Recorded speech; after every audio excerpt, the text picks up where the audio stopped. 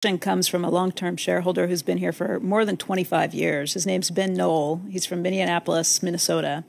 And he says, Mr. Munger and Mr. Buffett, after a 15 year period of market underperformance, you're cautious about predicting Berkshire being able to outperform the market in the future.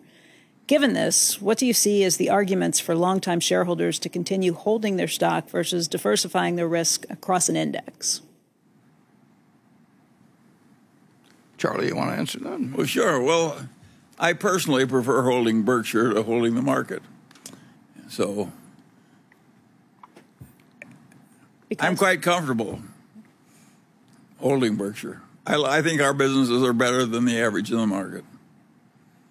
Is it because you don't think the market values it fairly?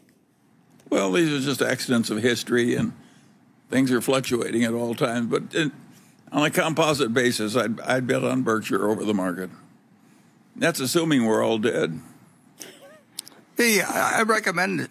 I, I recommend the S&P 500 index fund and uh, for uh, a long, long time to people, and uh, I've never recommended Berkshire to anybody uh, because I I don't want people to buy it because they think I'm tipping them into some side. Never. I mean, no matter what it was selling for, and uh, uh, and you know I I made it public. I, you know I'm on my death, there's a there's a fund for my uh, then, then widow, and uh, 90% will go into an S&P 500 index fund and 10% of Treasury bills. Uh, on the other hand, I'm very happy having my future contributions to a group of charities that'll be spread over 12 years or so after my death uh, to stay in Berkshire. I think the odds are uh, Berkshire, Berkshire Berkshire is, um, yeah, I, I, like it, but I'm not.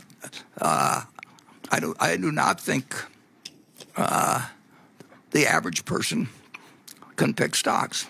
We happen to have a large group of people that didn't pick stocks, but they picked Charlie and me to manage money for them 50 or 60 years ago, and and uh, uh, so we have a very unusual group of shareholders, I think, who, who look at Berkshire as a lifetime savings vehicle and uh, one they don't have to think about, and uh, uh, one that they'll look, you know, if they don't look at it again for 10 or 20 years, that that uh, will have taken care of the money reasonably well. But that I wouldn't argue that, the S&P 500 over time. I would. I, I perfect. I, I like Berkshire, but I, uh, uh, I I think that the a person who doesn't know anything about stocks at all and doesn't have any special feelings about Berkshire, I think they ought to, they ought to buy the S&P 500 index.